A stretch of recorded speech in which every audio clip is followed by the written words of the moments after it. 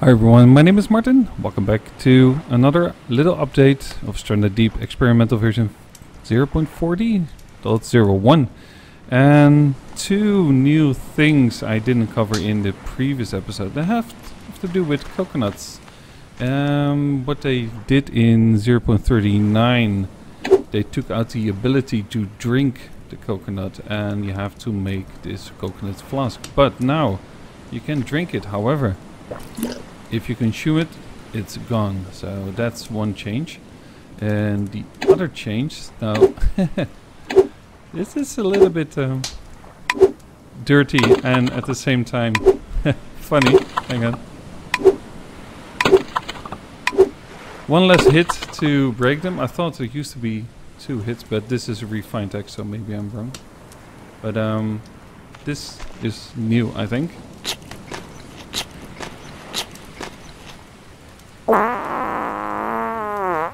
Yeah. I'm never eating that again. and you have diarrhea. Oh, good joy. I don't think there's a cure for it. Um, I tried actually to spawn medication, but uh, it's not there. I think they took it out. Um, the only thing I could make was gauze, which is normally used for an antidote, and no, I can click it, but it doesn't really work.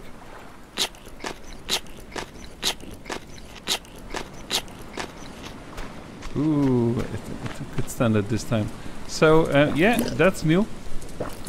And if you have diarrhea, uh, you get sick pretty fast. And your life signs start to drop, so uh, it will take care of itself automatically. It takes a little bit of time and it will disappear. And your BP will beep once that effect is over. So that's for now. Hope you enjoyed this uh, new experimental release. I'm certainly am. I'm going to do a let's play start of pretty soon.